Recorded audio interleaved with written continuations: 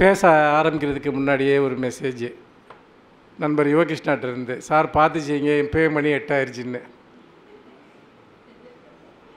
இப்படி போகுது நிலமை.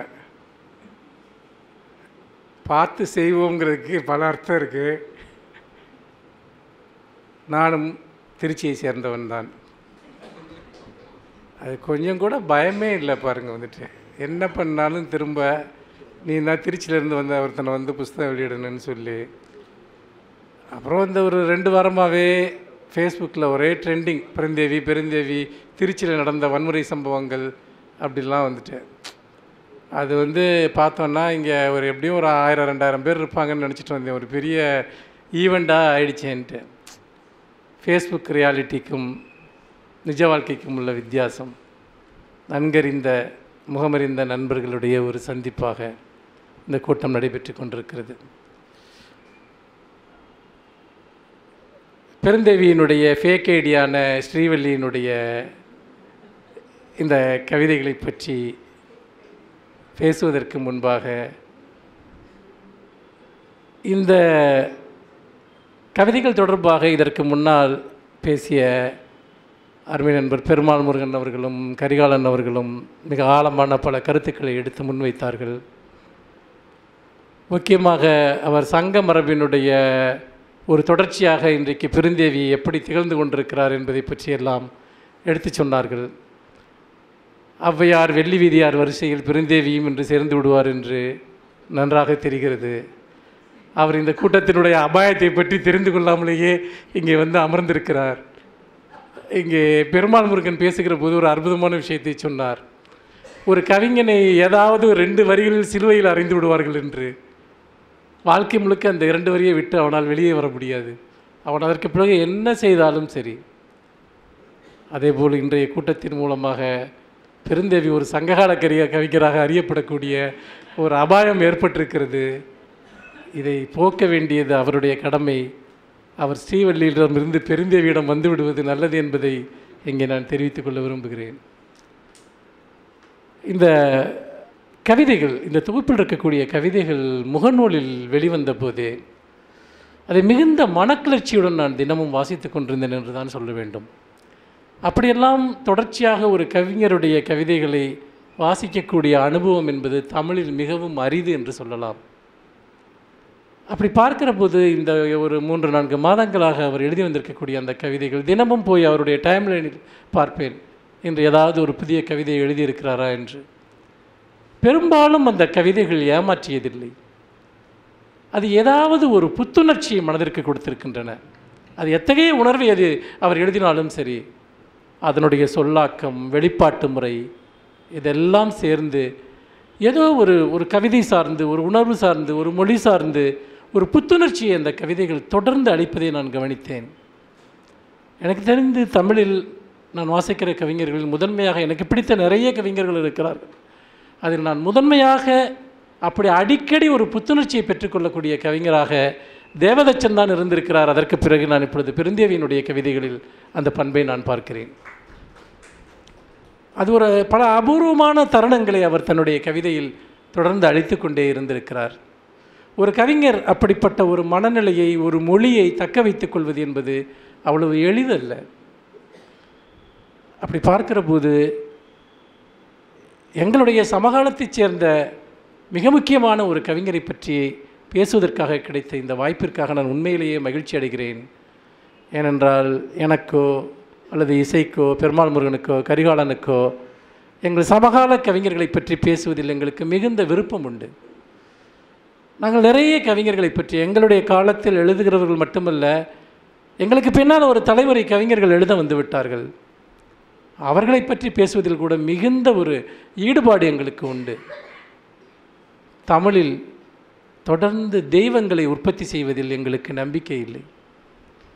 தமிழ் கவிதையை பற்றிய பேச்சுக்கள் எங்கே தொடங்கினாலும் ஒன்று அது பிரமிழோடு நின்று விடுகிறது அல்லது நகுலனோடு நின்று விடுகிறது அல்லது ஆத்மானாமோடு நின்று விடுகிறது. காலம் எங்கோ உறைந்து போய் விடுகிறது. அது அப்படி அல்ல. நான் இதை மிகுந்த தன்னடக்கத்துடன் நான் சொல்ல விரும்புகிறேன். பிரமிளையும் நகுலனையும் ஆத்மானாமையும் தாண்டி கடந்த பதினைந்து இருபது கருடங்கு வருடங்களில் பல கவிஞர்கள் இங்கு வேலை செய்திருக்கிறார்கள். மிகப்பெரிய பங்களிப்புகளை செய்திருக்கிறார்கள். ஆனால் பெருமாள் முருகன் பேசுகிற போது ஒன்று சொன்னார் ஒவ்வொரு கவிஞனையும் நாம் ஒன்று ரெண்டு வரிகளுக்குள் அடைத்து விடுகிறோம் என்று. அதற்கு காரணம் அந்த வரிகள் சிறந்தவை என்பதால் அல்ல. யாரும் அந்த கவிஞர்களை தொடர்ந்து வாசிப்பதில்லை என்பதால் தான் நம்முடைய சமகாலத்தினுடைய கவிஞர்களை பற்றி நாம் பேசுவதில் நமக்கு ஒரு மனத்தடை இருக்கிறது ஒரு அக்கறையின்மை இருக்கிறது. அதெல்லாம் பார்க்கிற போதுதான் நம்முடைய முன்னோடிகள் என்று நாம் நான் இங்கே குறிப்பிட்ட எல்லா பெயர்களையும் நானும் தோளில் தூக்கி சுமந்திருக்கிறேன். அவர்களுக்கான சிலைகளை வடிவமைத்தவர்களில் நானும் ஒருவன். ஆனால் இப்பொழுது கசப்பாக இருக்கிறது. இந்த சிலைகளுக்கு அப்பால் எதுவுமே இங்கு நடக்கவில்லையா? எவ்வளவு வேலைகள் தமிழில் நடந்திருக்கிறது? எத்தனை விதமான ஒரு க அதாவது தமிழில் கவிதை போக்குகள் அவ்வளவு தீவிரமாக மாறி வந்திருக்கிற அளவிற்கு வேறு எந்த இலக்கிய வடிவங்களும் மாறி இருக்கிறது என்று நான் சொல்ல மாட்டேன். அவ்வளவு தூரம் ஒவ்வொரு பத்தாண்டிலும் நவீன தமிழ் கவிதை முற்றிலுமாக மாறிக்கொண்டே இருந்திருக்கிறது. ஆனால் நம்முடைய வாசிப்பு அல்லது விமர்சனங்கள் என்பது எங்கோ யாரோ ஒரு சிலரோடு நின்று விடுகிறது. சமகாலத்தை நாம் வாசிப்பதிலோ அல்லது அதை நாம் கொண்டாடுவதிலோ எந்த தவறும் இல்லை என்று நினைக்கிறேன். முகநூலில் என்னுடைய கவிதைகளை நான் பிரசுரிக்கிற பல சமயத்தில் அதை நான் பிரசுரித்த ஒரு இரண்டு மணி நேரத்தில் மூன்று மணி நேரத்தில் அல்லது ஒரு மணி நேரத்தில் எல்லாம் நம்முடைய லக்ஷ்மி இங்கே அம்பை வந்திருக்கிறார். அதை ஆங்கிலத்தில் மொழிபெயர்த்து அதை எனக்கு அனுப்புவார். அதை அவருடைய டைம்லைனில் பிரசுரிப்பார். அதற்கு பின்னால் ஒரு அங்கீகாரம் இருக்கிறது.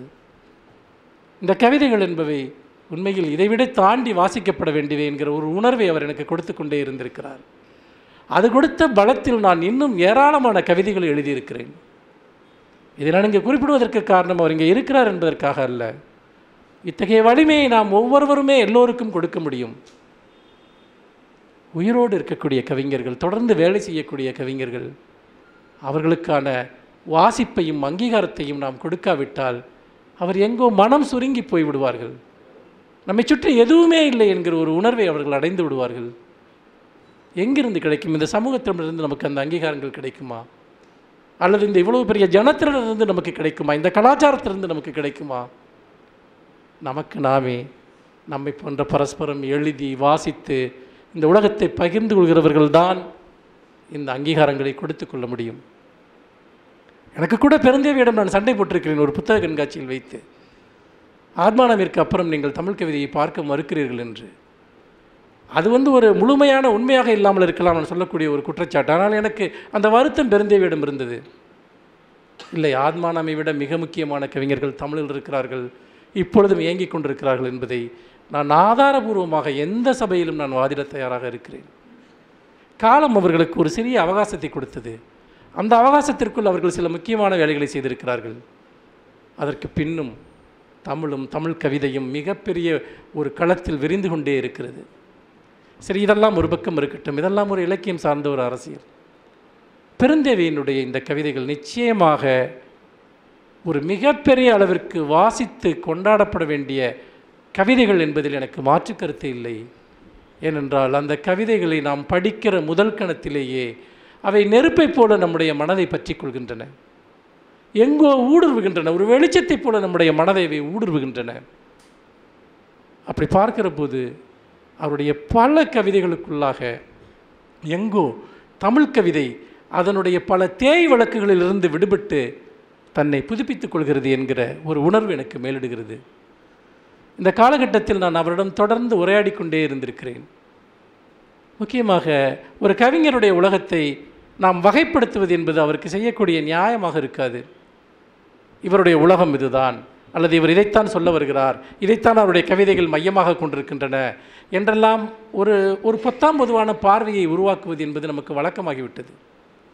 ஆனால் அதை அப்படி பார்க்க முடியுமா?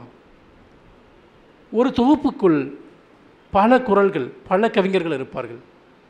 ஸ்ரீவல்லி பெருந்தேவி என்று மாறி மாறி நடக்கக்கூடிய மாறாட்டம் வந்து மட்டுமல்ல அது. அதை தாண்டியும் பல தோற்றங்கள் அல்லது பல வெளிப்பாடுகள் அதற்குள் இருக்கின்றன. ஒரு கவிதைக்குள் கூட முரண்பட்ட இரண்டு ஆளுமைகளை நாம் பார்க்க முடியும்.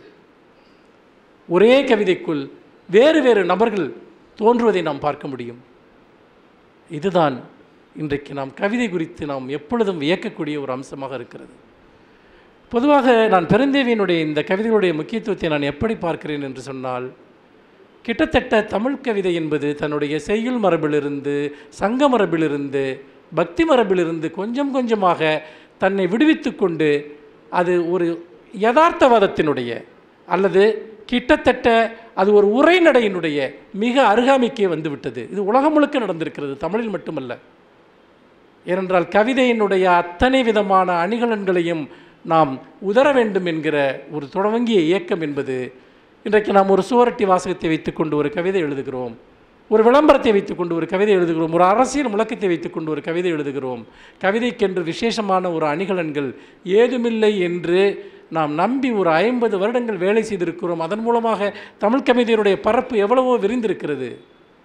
ஆனால் அதை முழுக்க முழுக்க ஒரு பெரிய விடுதலை என்று நான் சொல்ல மாட்டேன். நம்முடைய சங்க மரபினுடைய தமிழ் மரபினுடைய மிகவும் ஒரு சாராம்சமான அழகியல் மிகுந்த சில அம்சங்களை நாம் இழந்திருக்கிறோம் என்பதும் உண்மை. அது நாம் ஒரு பெரிய இழப்பு. நாம் இந்த முனையிலிருந்து இன்னொரு முனைக்கு நாம் சென்றதன் விளைவாக நாம் மகத்தான பல விஷயங்களை நமது மரபு கொடுத்த விஷயங்களை நாம் உதறி இருக்கிறோம். எங்கோ நாம் ஒரு அறுபட்ட தலைமுறையாக நாம் மாறிவிட்டோம் என்பதுதான் உண்மை. ஆனால் பெருந்தேவி தன்னுடைய கவிதைகளின் மூலமாக அந்த அறுபட்ட கன்னிகளை இணைக்க முயற்சிக்கிறார். ஒரு நவீன பிரஜையுள்ள ஒரு கவிஞர் ஒரு சமகால மொழிநடை கொண்ட ஒரு கவிஞர் ஒரு பிரஜை கொண்ட ஒரு கவிஞர் அவர் கடந்த காலத்தினுடைய கடந்த கடந்த காலத்தினுடையது என்று நம்பப்படுகிற உணர்வுகளிலிருந்தும் சொல்முறைகளிலிருந்தும் தன்னுடைய நவீன கவிதையை அவர் வார்க்க முயற்சிக்கிறார். உண்மையிலேயே அவர் ஒரு பெரிய இணைப்பு கண்ணியாக செயல்படுகிறார் என்பதுதான் உண்மை. அது தமிழ் கவிதைக்கு அவர் செய்யக்கூடிய ஒரு வரலாற்று பணி என்று நான் நினைக்கிறேன். அதற்காக அவருக்கு நான் முதலில் என்னுடைய வாழ்த்துக்களை நான் தெரிவித்துக் கொள்கிறேன். இங்கே பேசுகிற போது நண்பர் பெருமாள் முருகன் அவர்கள் ஒரு விஷயத்தை சொன்னார். பிரிவு துயர் என்பது இந்த கவிதைகளுக்குள் ஆழமாக இருக்கிறது என்று நண்பர் கரிகாலன் கூட அதை சுட்டிக்காட்டினார் என்று நினைக்கிறேன். பிரிவு துயர் என்பது இந்த காலத்தில் எப்படி சாத்தியம் என்கிற ஒரு மிக முக்கியமான ஒரு கேள்வியை பெருமாள் முருகன் எழுப்பினார். உண்மையிலேயே நாம் யாராவது யாரையாவது நாம் பிரிந்திருக்கிறோமா? எல்லோரும் எல்லோருக்கும் எப்பொழுதும் பேசக்கூடியவர்களாக அக்சஸ் செய்யக்கூடியவர்களாக எங்கே இருக்கிறார்கள் என்று தெரிந்து கொள்ளக்கூடியவர்களாக என்ன செய்து கொண்டிருக்கிறார்கள் என்று தெரிந்து கொள்ள தெரிந்து கொள்ளக்கூடியவர்களாக நம் கண் பார்வையிலிருந்து மறைகிறவர்கள் என்று நம்முடைய உலகத்தைச் சேர்ந்தவர்கள் யாருமே இல்லை. அந்த காலத்திலெல்லாம் நம்முடைய சங்கப்படங்கள் இருக்கிற காலத்திலெல்லாம் ஒரு தலைவன் தலைவியை பிரிந்து ஒரு ஐம்பது கிலோமீட்டர் அல்லது ஐம்பது மைல் அல்லது ஒரு நூறு மைல் தொலைவுக்கு சென்று விட்டாலே அவன் வேறொரு உலகத்திற்கு சென்று விட்டது போன்றுதான். எந்த விதமான தொடர்பும் கிடையாது. எதையும் தெரிந்து கொள்ள முடியாது. இருக்கிறார்களா இல்லையா என்பதை உறுதிப்படுத்தி கொள்ள முடியாது. இப்படியான பல பிரச்சனைகள் இதற்குள் இருக்கின்றன. ஆனால் இன்றைக்கு அப்படி ஒரு பிரிவு இல்லையே. அப்படி என்றால் இந்த துயரத்தை எப்படி நாம் புரிந்து கொள்வது? இது பெருமாள் முருகன் எழுப்பிய ஒரு கேள்வி. அல்லது நான் அப்படி அதை புரிந்து கொண்டேன். அதை ஒரு கேள்வியாக எழுப்பினார் என்று. இங்கு பிரிவுகள் கிடையாது. ஆனால் உறவுகளுக்குள் ஆயிரக்கணக்கான முறிவுகள் இருக்கின்றன. மிக நுண்ணிய முறிவுகள் கண்ணுக்கு தெரியாத முறிவுகள். ஒருவருடன் இருந்து கொண்டிருக்கிற போதே அவருடன் இல்லாமல் போவது. ஒருவருடன் வாழ்ந்து கொண்டிருக்கிற போதே அவர் நம்மிடமிருந்து மறைந்து விடுவது. பௌதிக ரீதியாக ஒருவர் நம்மோடு இருப்பார். அவருடன் நாம் உரையாடி கொண்டிருப்போம் உறவாடி கொண்டிருப்போம். ஆனால் நாமும் அவரும் தொடர்பற்றவர்களாக மாறிவிடுவோம். அல்லது ஒரு தெருவில் வசிப்போம் ஒரு ஊரில் வசிப்போம் ஒரு அலுவலகத்தில் வேலை செய்வோம். சமூக வலைத்தளங்களில் தொடர்பு கொள்வோம். ஆனால் எங்கோ மனோரீதியாக ஒரு கசப்பு ஒரு விடுபடுதல் ஒரு அறுபட்டு போகிற ஒன்று நிகழ்ந்து விடுகிறது. அதற்கு பிறகும் நாம் இருந்து கொண்டு தான் இருப்போம். இது உருவாக்குகிற தனிமை உணர்ச்சி என்பது மிகவும் கொடூரமானது. இது உருவாக்குகிற புறக்கணிப்பு உணர்ச்சி என்பது அது இந்த நூற்றாண்டிற்கு மட்டுமே ஒரு உரியது. ஒருவர் இருந்தும் இல்லாமல் இருப்பது என்பது. ஒருவர் இருந்தும் இல்லாமல் போவது என்பது. அப்படி பார்க்கிற போது இதற்குள் இருக்கக்கூடிய பிரிவாற்றாமை என்பது ஒரு மனிதர்களை இல்லாமல் போவதல்ல. மாறாக நாம் தொடர்ந்து மனிதர்களை இழந்து கொண்டே இருக்கிறோம். முற்றாக அல்ல ஒவ்வொரு தருணத்திலும் இழந்து கொண்டே இருக்கிறோம். அதனால்தான் பெருந்தேவியினுடைய இந்த கவிதைகளுக்குள் அந்த இழப்புணர்வு என்பது அவ்வளவு பிரம்மாண்டமானதாக விரிகிறது. பெருந்தேவி மட்டுமல்ல எந்த நவீன கவிஞரை நீங்கள் எடுத்துக்கொண்டாலும் அவர்கள் ஏன் இந்த இழப்புணர்வை பற்றி திரும்ப திரும்ப பேசிக்கொண்டே இருக்கிறார்கள்? ஏன் இந்த இந்த முறிவை பற்றி பேசிக்கொண்டே இருக்கிறார்கள் என்று சொன்னால் அது ஒவ்வொரு கணத்திற்கு கணமும் அது நிகழ்ந்து கொண்டே இருக்கிறது. ஒரு கையை பற்றி குலுக்கினால் அந்த கையில் இருக்கக்கூடிய வெப்பம் என்பது அந்த கையை விடுவித்துக் கொள்வதற்குள் தணிந்து விடுகிறது. அந்த கைகள் குளிர்ந்து போய் விடுகின்றன. இங்கே எவ்வளவு முறிவுகளை பற்றி எழுதுவது இல்லாமைகளை பற்றி எழுதுவது பிரிவுகளை பற்றி எழுதுவது என்கிற ஒரு கேள்வி எழுகிறது. அப்படி என்று சொன்னால் பெருந்தேவியினுடைய கவிதைகளுக்குள் இருக்கக்கூடியவை காதல் சார்ந்த உணர்வுகளா? நாம் பொதுவாக பேசுவதிலிருந்து புரிந்து கொள்கிற போது பிரிவு என்று வருகிற போது காதல் என்கிற ஒரு அர்த்தத்தில் தான் அதை புரிந்து கொள்கிறோம். ஆனால் இந்த கவிதைகளை முழுக்க வாசிக்கிற போது இதற்குள் உடல் இருக்கிறதா?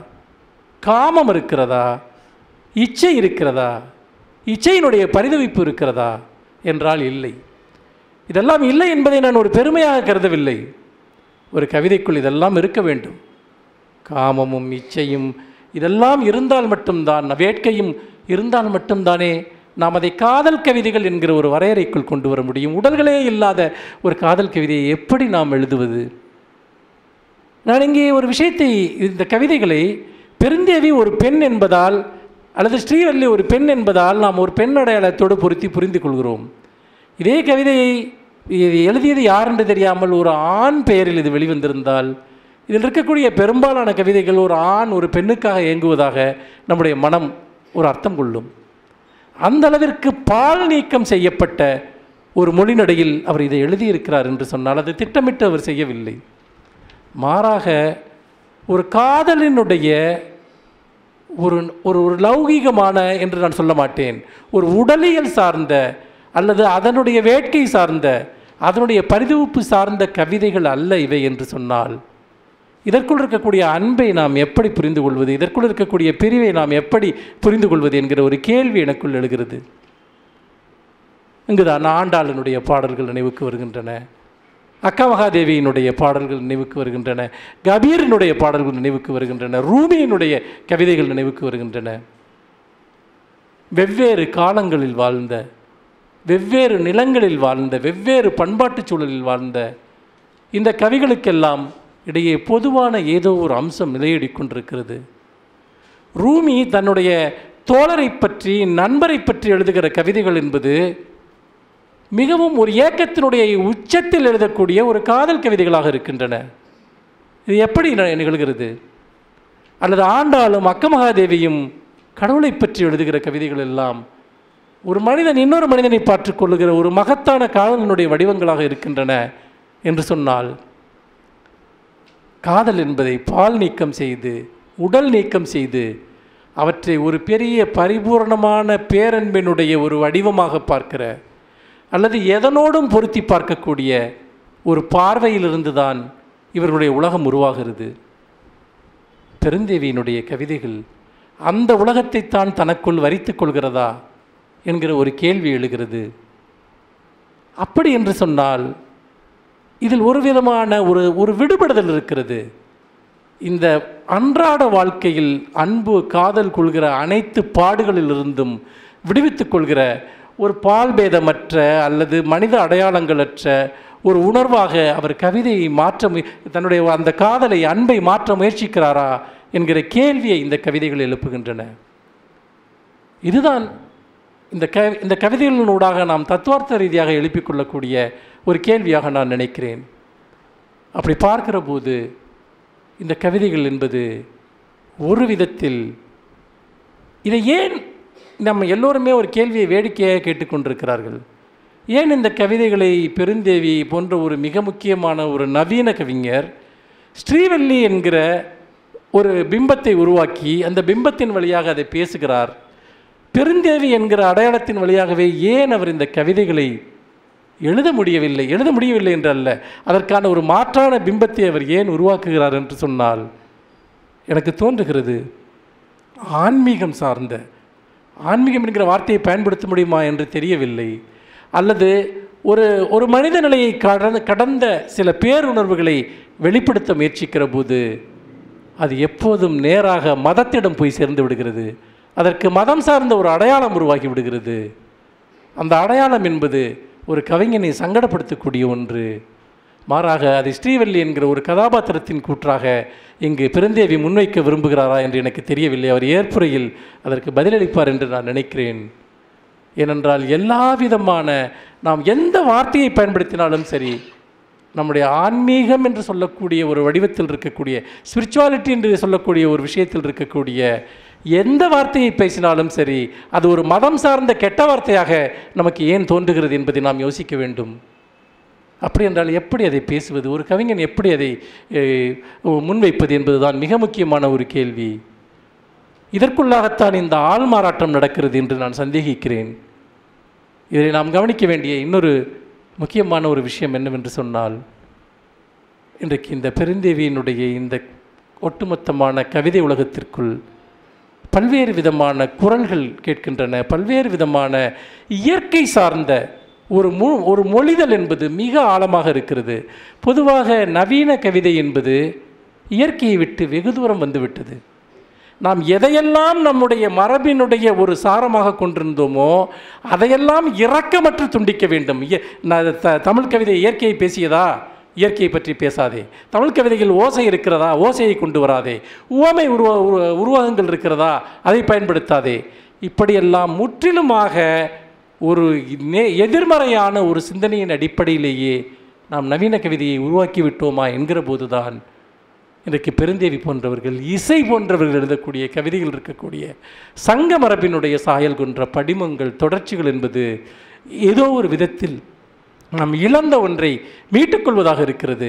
இந்த உணர்வுகளை எல்லாம் அவர் வெளிப்படுத்துகிற விதத்தில் முற்றிலுமாக நாம் எப்படி சங்கமரபில் இருக்கக்கூடிய அனைத்து உணர்வுகளும் இயற்கை இயற்கை சார்ந்த வெளிப்பாட்டு முறைகளின் மூலமாகவே நிகழ்கிறதோ இயற்கையோடு இருக்கக்கூடிய உறவின் வழியாகவே நிகழ்கிறதோ அதே விதமான ஒரு தளத்தை இங்கு மிகவும் அபூர்வமான முறையில் பெருந்தேவி கட்டமைப்பதை பார்க்க முடிகிறது. இது ஒரு ஒரு விதத்தில் சமகால தமிழ் கவிதை போக்கிலிருந்து ஒரு மீறல் அல்லது ஒரு விலகல் என்று நான் பார்க்கிறேன். அப்படி பார்க்கிற போது இது இந்த கவிதை தொகுப்பினுடைய ஒரு தனித்துவமான ஒரு அம்சமாக இருக்கிறது. பொதுவாக தமிழில் சில பிறமொழி கவிஞர்கள் ஒரு பெரும் தாக்கத்தை செலுத்தி இருக்கிறார்கள் அதிலே லாக் பிரவருடைய தொகுப்பு இங்கு வந்தபோது நிறைய இளம் கவிஞர்களை அது பாதித்தது. அவர்களுடைய மொழியை பாதித்தது. அவருடைய சொல்முறையை பாதித்தது. சிந்தனா முறையில் கூட அது ஒரு பெரிய ஒரு வெளிச்சத்தை ஊடுருவியது. லாக் பிரவரனுடைய கவிதைகள் என்பது ஒரு சமூக யதார்த்தத்தின் மீது நின்று எழுதக்கூடிய அல்லது சமூகத்தின் மீது இருக்கக்கூடிய பிளவுகள் நோய்மைகளை மிக கூர்மையான ஒரு த ஒரு மொழியில் பேசக்கூடிய ஒரு அந்நியப்பட்ட மனிதர்களுடைய அல்லது அப இந்த அந்நியப்பட்ட ஒரு ம ஒரு காலத்தினுடைய அபத்தங்களை பேசக்கூடிய ஒன்றாக லாக்பரவருடைய கவிதைகள் இருந்தது என்று சொன்னால் ரூமியினுடைய கவிதைகளில் தமிழில் வந்த பிறகு அது ஒரு மிகப்பெரிய அளவிற்கு ஒரு ஆன்மீகம் சார்ந்த தளத்தின் மீது ஒரு அக்கறையை அல்லது ஒரு மிகப்பெரிய அளவிற்கு ஒரு இயற்கை சார்ந்த ஒரு காதலினுடைய எல்லையற்ற ஒரு ஒரு பேருவகையை காணக்கூடிய ஒரு உத்வேகத்தை பல கவிஞர்களுக்கு அது அளித்திருக்கிறது. ஆனால் இந்த இடத்தில் தான் நான் மிக முக்கியமாக ஒன்றை நான் கேட்டுக்கொள்ள விரும்புகிறேன். காதல் என்பது பெருமாள் முருகன் நான் அடிப்படையில் கேட்ட அந்த கேள்வியையே நான் சற்று விரிவுபடுத்துகிறேன். பெருந்தேவியினுடைய இந்த கவிதைகளில் இருக்கக்கூடிய மொழி சமகாலத்தியது என்று பெருமாள் முருகன் சொன்னார். மொழி சமகாலத்தியது ஆனால் இந்த காதல் என்பது சமகாலத்தியதா என்பதை நாம் சிந்திக்க வேண்டும். என்ன நடக்கிறது இங்கு? காதல் என்பது இதற்குள் இருக்கக்கூடிய ஒரு பரிபூரமான பரிபூரணமான ஒரு ஒப்பு கொடுத்தல் சரணடைதல் அல்லது அதற்குள் இருக்கக்கூடிய தன்னை முழுமையாக அந்த உ- அந்த ஒரு உறவுக்குள் தன்னை கரைத்து கொள்ளுதல். அதற்காக முழுமையாக ஏங்கி பரிதவித்து நிற்றது. அற்புதமாக இருக்கிறது அதை படிப்பதற்கு. இப்படிப்பட்ட ஒரு காதலால் நம் மனம் நிரம்பி இருக்கக்கூடாதா இப்படிப்பட்ட ஒரு காதலுக்குள் நாம் இருக்கக்கூடாதா என்று நம்முடைய மனம் விம்முகிறது. ஆனால் நாம் அப்படித்தான் இருக்கிறோமா? நம்முடைய காதல்கள் அப்படித்தான் இருக்கிறதா? அப்படி ஒரு ஒப்புக் கொடுத்தல்கள் நிகழ்கிறதா? ஒருவரை நாம் நெருங்கி செல்கிற அடுத்த கணமே மனம் விலகி விடுகிறது. அதை கூட ஒரு கவிதையில் பெருந்தேவி சொல்கிறார் ஒரு உறவு என்பது அதனுடைய முடிவு தெரிந்த பிற அது உறவு தொடங்குகிற போதே அதனுடைய முடிவு நிச்சயிக்கப்பட்டு விடுகிறது என்கிற விதமாக ஒரு கவிதை தொடங்குகிறது. அல்லது அந்த முடிவு நிச்சயிக்கப்பட்ட பிறகுதான் அந்த உறவு தொடங்குகிறது என்பது போன்ற ஒரு வரியை எழுதியிருப்பார். ஆனால் இந்த கவிதைகள் இருக்கக்கூடிய இந்த காதல் என்பது இந்த பேரன்பு என்பது அது இந்த நூற்றாண்டினுடையதல்ல. ஒரு யுனிவர்சலாக அப்படிப்பட்ட ஒரு காதல் உணர்வு இருக்கிறது என்று நாம் நம்ப விரும்புகிறோம். ஆனால் நம்முடைய காதல்கள் என்பது அந்நியப்பட்டதாக கசங்கி போனதாக நிறைய இடங்களில் கரிந்த வாசனை அடிக்கக்கூடியதாக இருக்கிறது. காதலுக்குள் இருக்கக்கூடிய அதிகார போட்டி காதலில் இருக்கக்கூடிய ஒரு விதமான ஒரு மறைபொருள்கள் அல்லது ஒருவரை ஒருவர் நேசித்தும் அழித்தும் கொள்கிற ஒரு பண்பு இதையெல்லாம் நம்முடைய காலத்தில் நாம் தொடர்ந்து எழுதி கொண்டே இருக்கிறோம். அப்படிப்பட்ட ஒரு நிலையில்தான் இன்றைக்கு பெருந்தேவியினுடைய இந்த கவிதைகளை படிக்கிற போது அது இந்த உலகத்திற்குள் வழிதவறி வந்த ஒரு கவிதைகளாக ஒரு கவிஞராக பெருந்தேவி எனக்கு தெரிகிறார். அவர் எங்கோ வழிதவறி இந்த உலகத்திற்குள் வந்துவிட்டார் என்றுதான் எனக்கு தோன்றுகிறது. இதையெல்லாம் பார்க்கிற போது நமதல்லாத காலத்திலிருந்து நமது காலத்தினுடைய ஒரு மகத்தான உணர்வுகளை பிரதிபலிக்கக்கூடிய ஒரு கவிஞராக பெருந்தேவி இங்கே இருந்து கொண்டிருக்கிறார் என்று தான் தோன்றுகிறது. அவருடைய நிறைய கவிதைகள் நான் இந்த கூட்டத்தில் பேச வேண்டும் என்று எடுத்துக்கொண்டு வந்த கவிதைகள் இங்கு பல கவிதைகள் இருக்கின்றன. ஆனால் இங்கு நேரம் இல்லை இந்த அரங்கம் ஏனென்றால் இன்னும் இசை பேச வேண்டியிருக்கிறது. இரண்டு கவிதைகளை மட்டும் இங்கு குறிப்பிட்டு நான் அதன் வழியாக பெருந்தேவியை இந்த தொகுப்பை நான் புரிந்து கொள்ள விரும்புகிறேன் என்பதற்காக அந்த கவிதைகளை இங்கே உங்களுடன் நான் பகிர்ந்து கொள்ள விரும்புகிறேன்.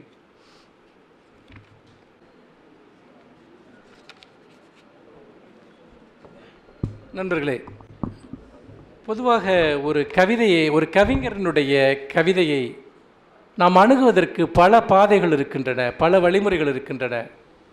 நாம் நமக்கு பிடித்த ஏதாவது ஒரு கதவின் வழியாக அந்த கவிஞனுடைய உலகத்தை போய் நாம் தட்டுவதற்கு முயற்சிப்போம். இந்த தொகுப்பை நான் படித்து கொண்டிருந்த போது பெருந்தேவியனுடைய உலகத்திற்குள் நாம் நுழைவதற்கு இந்த கவிதையில் இருக்கக்கூடிய உலகத்தில் நுழைவதற்கு எந்த வாசல் சரியாக இருக்கும்? என்று நான் பார்த்தபோது ஏதோ ஒரு விதத்தில் இந்த மன உலகிற்கு மிகவும் நெருக்கமான ஒரு கவிதையை நான் கண்டுகொண்டேன். மன்றாடல் என்கிற ஒரு கவிதை.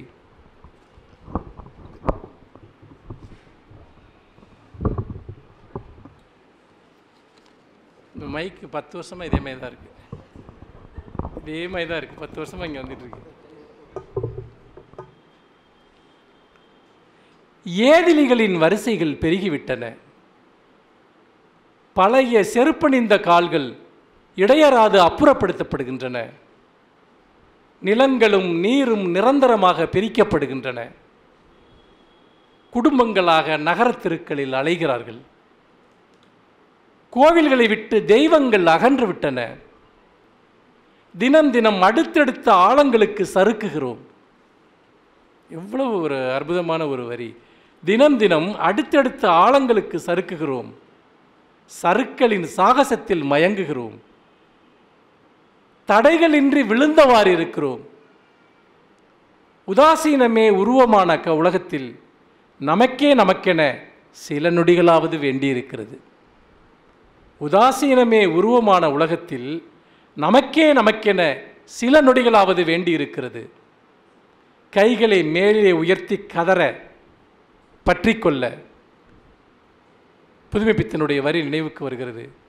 கைதூக்கி கும்பிட யாரும் இல்லையே என்று சொன்ன வரி.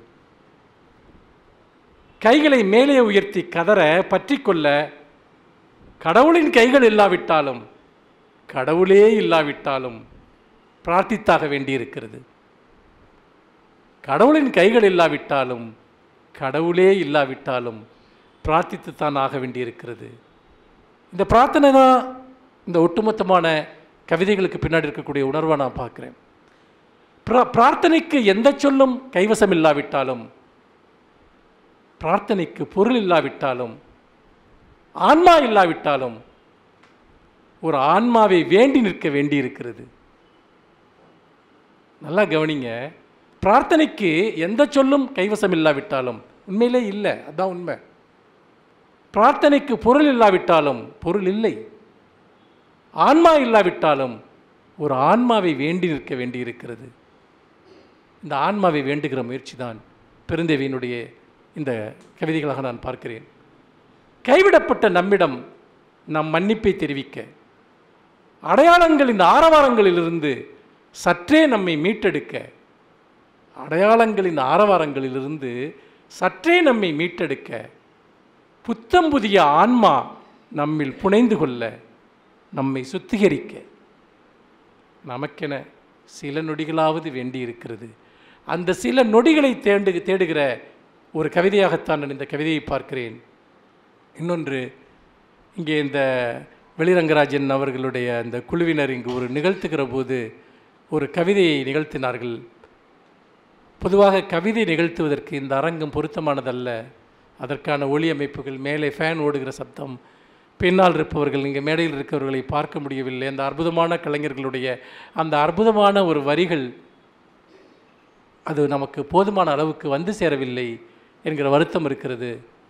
அந்த கவிதையில் ஒரு ஒரு நாள் அதிக ஒரு காலை பொழுதில் நான் பெருந்தேவியினுடைய அந்த டைம்லைனை திறந்தபோது அந்த கவிதை இருந்தது. உண்மையிலேயே அந்த கவிதை எனக்குள் அன்றைய இரவு முழுக்க நான் தூங்காத ஒரு இரவாக இருந்தது. நான் எப்பொழுதும் பொதுவாக இரவெல்லாம் எழுதி கொண்டிருக்கக்கூடியவன். அன்றைக்கு நான் எழுதவும் இல்லை ஆனால் என்னுடைய ஒரு கவிதையை அன்று பெருந்தேவி எழுதியிருந்தார். அல்லது என்னால் ஒருபோதும் எழுத முடியாத அளவிற்கு சிறப்பாக அந்த என்னுடைய கவிதையை அவர் எழுதியிருந்தார். அந்த கவிதையை நான் எத்தனை முறை படித்தேன் என்று சொல்ல முடியாது. பிறகு நான் அவரை அழைத்தேன். அதற்கு முன்பாக அந்த கவிதைகளை ப அந்த கவிதையை படித்தபோது என்னுடைய கண்களில் நீர் திரையிட்டு விட்டது. பிறகு என்னுடைய உணர்ச்சி அலைகள் அடங்கும் வரை நான் காத்து கொண்டிருந்தேன். பிறகு அவரை அழைத்து நான் வெகு நேரம் அந்த கவிதையை பற்றி பேசிக்கொண்டிருந்தேன் பல ஆண்டுகளுக்கு பிறகு ஒரு கவிஞனுடைய ஒரு கவிதை என்பது அவ்வளவு தூரம் என்னை ஆட்கொண்ட ஒரு அற்புதமான ஒரு தருணம் அது. இதற்கு மேல் இதை சொல்ல முடியுமா? இதற்கு மேல் இதை வெளிப்படுத்த முடியுமா? இந்த வலியை இந்த வேதனையை இந்த கண்ணீரை இந்த குமுறலை இதற்கு மேல் சொல்வதற்கு சொற்கள் இருக்கிறதா? நிச்சயமாக இல்லை என்று அதாவது ஒரு கவிஞனுக்கு எப்பொழுதுமே ஒரு பெரிய ஒரு ஈகோ இருக்கும். ஒரு கவிஞன் ஒரு சிறந்த கவிதையை எழுதினால் அதை நம் மனம் ஒப்புக்கொள்ளாது. அதில் ஏதாவது ஒரு சிறு குறையை கண்டுபிடித்து அந்த குறையின் வழியாக நாம் அவனோடு போட்டி போடுவதற்குத்தான் நாம் விரும்புவோம். ஆனால் நான் பெருந்தேவியுடன் அந்த கவிதையில் போட்டி போட விரும்பவில்லை. இன்னும் சொல்லப்போனால் அந்த கவிதையின் முன்னால் நான் என்னுடைய சொற்களை நான் விட்டுக் கொடுத்தேன் என்று சொல்ல வேண்டும். அந்த கவிதையை நான் இங்கே வாசித்து என்னுடைய உரையை நிறைவு செய்ய விரும்புகிறேன். இந்த சிற்றிலை எப்படியெல்லாம் இழைத்தேன்? எப்போதும் எதுவுமே முதன்முறை அல்ல என்கிற இந்த கவிதையில். சிற்றிலை என்றால் அந்த நாம் கடற்கரையில் கட்டுகிற அந்த மண் வீடு அந்த மணல் மணல் வீடு இந்த சிற்றிலை எப்படியெல்லாம் இழைத்தேன் என்றெல்லாம் விளக்க மாட்டேன். உனக்காக கட்டினேன் என்பதே போதும். ஒரு காதலை பற்றி சொல்லக்கூடிய ஒரு வரியில் இதுக்கு எத்தனை விதமான அர்த்தங்களை இந்த வரி எனக்கு கொடுக்கிறது என்று சொல்ல முடியாது. நாம் ஒரு பிரிவு வருகிற போது ஒரு வேதனை வருகிற போது நாம் செய்யக்கூடிய ஒரு அற்பமான காரியம் என்ன தெரியுமா? நாம் உனக்காக என்னவெல்லாம் செய்தேன்? உனக்காக நான் என்னவெல்லாம் பாடுபட்டேன்? உனக்காக எதையெல்லாம் இழந்தேன்? என்றுதான் நாம் நம்முடைய புகார் பட்டியலை நாம் ஆரம்பிப்போம். ஆனால் இந்த கவிதை இப்படி தொடங்குகிறது. இந்த சிட்டியில் எப்படியெல்லாம் இழைத்தேன் என்றெல்லாம் விளக்க மாட்டேன். உனக்காக கட்டினேன் என்பதே போதும். கட்டி முடித்து பார்க்கும்போது நீ வந்தாய். விளையாட்டாய் சிதைத்தாய். வாசல்கள் மாடங்கள் காற்றில் அமிழ்ந்து உள்ளே வந்து சென்று கொண்டிருந்த புறாக்கள் எல்லாம் கலைந்தன. நான் கலங்கிய போது உன் சுட்டு விரலால் என்னை தொட்டாய். அப்போது நான் ஒரு பிரபஞ்சமானேன். பால்வீதியாய் விரிந்தேன். கோளாக ஒரு பாதையில் ஒழுங்குபட்டேன். என்னை நானே சுற்றி கொண்டு கிருகிருத்தேன். எரிகல்லாக சஞ்சரித்தேன். விண்மீனாக வெடித்து பற்றி எறிந்தேன். சில நொடிதான். பின் அந்தகாரம். இந்த உறவுக்குள் ஏற்படக்கூடிய மன எழுச்சியையும் வீழ்ச்சியையும் எவ்வளவு அற்புதமாக இந்த வரிகள் எழுதிச் செல்கின்றன என்பதை நீங்கள் பாருங்கள். ஒரு அற்புதம் நிகழ்கிறது. அதாவது ஒரு ஒரு துயரம் ஒன்று நம்முடைய கனவுகள் யார் மீது நம்முடைய கனவுகளை உருவாக்குகிறோமோ அவர்களாலே அந்த கனவுகள் கலைக்கப்படுகின்றன. பிறகு அவர்களிடமிருந்தே நமக்கு ஒரு தேற்றுதல் கிடைக்கிறது ஒரு சிறிய நம்பிக்கை கிடைக்கிறது. நீ என்னை ஒரு சிறு பொழுதுதான் தொட்டாய் என்று சொல்லுகிற போது சில நொடிகள் தான் பின் அந்தகாரம். கண்ணை திறந்தால் இடிபாடு மண்குவியல். இங்கா வாசல்கள் மாடங்கள் இருந்தன. ஒரு உறவு இப்படித்தான் இருந்ததா என்று நாம் நினைக்கிற எத்தனை தருணங்கள் வருகின்றன. இங்கா வாசல்கள் மாடங்கள் இருந்தன. இங்கா புறாக்களின் சுவாதீனம் நர்த்தனமிட்டது. இத்தனை சின்னாபின்னத்திலிருந்து எதை எப்படி தொடங்குவேன்? சூறைக்காற்று குதறிய மரம் எப்போது எப்படி எழுந்து நிற்கும்? என் கைகள் இருக்கின்றனவா? உதிர்ந்து விட்டனவா? முதலில் அவற்றை நான் பார்க்க வேண்டும். உண்மையில் இந்த வரிகளை என்னால் கடந்து செல்லவே முடியவில்லை. நீங்கள் ஒரு மிகப்பெரிய இழப்புணர்வை அடைகிற போது நீங்கள் இன்னொருவரை இழப்பது கிடையாது. முதலில் உங்களுடைய சொந்த உடலை இழக்கிறீர்கள். உங்களுடைய சொந்த உடல் உங்களிடம் இல்லாதது போன்ற ஒரு உணர்வு உங்களுக்கு ஏற்படுகிறது. அந்த உடல் உங்களிடமிருந்து அந்நியமாகி விடுகிறது. இதை தமிழில் யாராவது எழுதியிருக்கிறார்களா என்று எனக்கு தெரியவில்லை. இன்னொருவரை இழப்பதன் மூலமாக முதலில் நாம் இழப்பது நம்முடைய உடலை என்பதை. என் கைகள் இருக்கின்றனவா? உதிர்ந்து விட்டனவா? முதலில் அவற்றை நான் பார்க்க வேண்டும். முதலில் அவற்றை அசைக்கும் பயிற்சியிலிருந்து தொடங்க வேண்டும். மறுபடியும் சிற்றிலை கட்டுவேன். இதுதாங்க மனித இயல்பு. மறுபடியும் சிற்றிலை கட்டுவேன். மறுபடியும் நீ வருவாய் சிதைப்பாய். மறுபடியும் நான் பிரபஞ்சமாக மாறுதலும் குதூகலித்தலும் அழிதலும். அந்த வட்டத்தை திரும்ப சொல்கிறார் இந்த வட்டத்திலிருந்து நீங்கள் யா நம்ம யாருமே வெளியே வர முடியாது. இந்த அனுபவத்திலிருந்து பாடம் கற்றுக்கொடுதல் போன்ற முட்டாள்தனமான வாசகங்களில் எல்லாம் எனக்கு எப்போதுமே நம்பிக்கை இருந்ததில்லை. எந்த அனுபவமும் எந்த படத்தையும் சொல்லித்தருவது கிடையாது. அதே வட்டம் அதே வீழ்ச்சி அதே மன எழுச்சி. குதூகலித்தலும் அழிதலும் கைவிடப்பட்டு கிடத்தலும் மறுபடியும் எப்போதும் எதுவுமே முதல் முறை அல்ல. இதே மணற்கரையில் என்னோடு வேறு சிலர் சிற்றிலை கட்டுகிறார்கள். இதைவிட வசீகரமாக விஸ்தாரமாக ஏனோ என் ஏழமை சிற்றிலை தவிர அவை உன் கண்ணில் படுவதில்லை. அவற்றை நீ சிதைப்பதும் இல்லை. உன் இரக்கமின்மையை காதல் என்று எண்ணிக்கொள்ள என்னைப் போல அவர்களுக்கு வாய்ப்பதில்லை. எனக்கு மட்டும் கையளிக்கப்பட்ட அருள் என் ஒரே ஆறுதல். தனக்கு மீண்டும் மீண்டும் நிகழ்கிற இந்த அழிவை ஒரு மிகப்பெரிய கருணையாக அல்லது ஒரு அன்பை காதலை முழுமையாக அந்த வேதனையின் வழியாக மட்டுமே அந்த அன்பை நெருங்கி தொட முடியும் என்கிற ஒரு நிலையாக இந்த கவிதை நிறைவு பெறுகிறது.